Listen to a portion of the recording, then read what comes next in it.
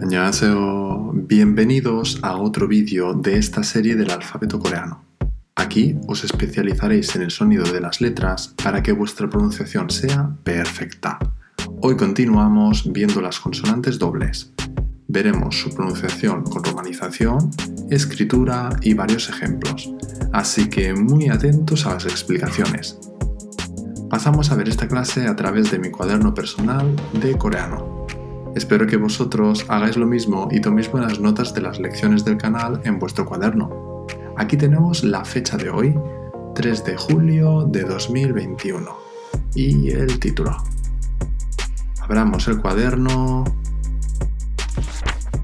Pero antes de ver la letra, quiero comentaros que en Patreon tenéis disponible la ficha de esta letra totalmente gratuita. En Patreon también encontraréis la palabra del día, el hanja de la semana, audios con mini diálogos, listas de PDF, etcétera, etcétera. Ahora sí, veamos la letra. Como veis, esta letra consta de dos Bs, por eso se llama Biup, que significa doble Biup. Esta letra viene de la Biup, que es un intermedio entre la B y la P, así que es importante que la conozcáis también.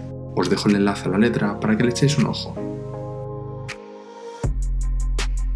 Como digo, la pronunciación de View es entre una B y una P, sin embargo, así doblada, en la romanización escribiremos W y la pronunciación siempre será de una P. No confundáis que escribo dos Bs con que el sonido sea más largo doblado, es simplemente una P. Para escribirla hacemos una especie de L, luego una raya horizontal en medio de la larga y finalmente otra más larga en la parte derecha, quedando un cuadradito con dos cuernos. Repetimos los pasos al lado y ya tenemos Sangpyo. Vamos a pasar a los ejemplos para escuchar y hacer bien la pronunciación. Veamos la primera palabra. Se pronuncia como pan, pan, y como ya he comentado antes, al principio de palabra suena como una P.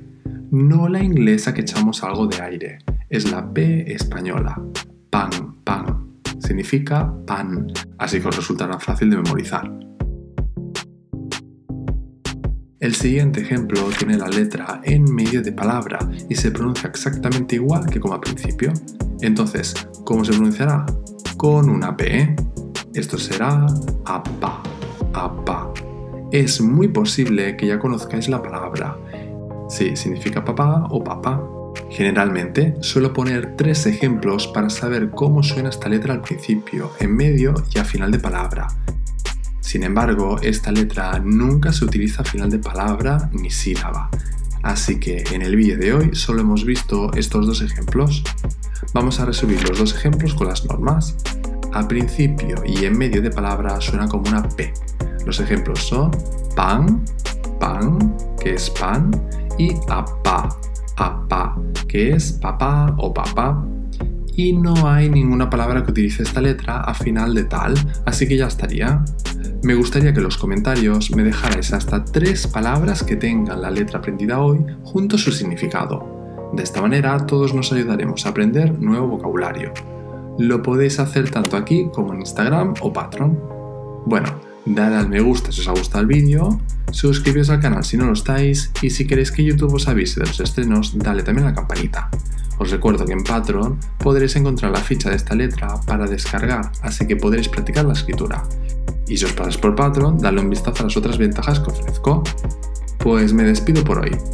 Podréis verme también los fines de semana en Twitch, tanto estudiando como divirtiéndonos un rato con cosas relacionadas con Corea. Espero que os haya gustado este vídeo. 다음에 또 봐요.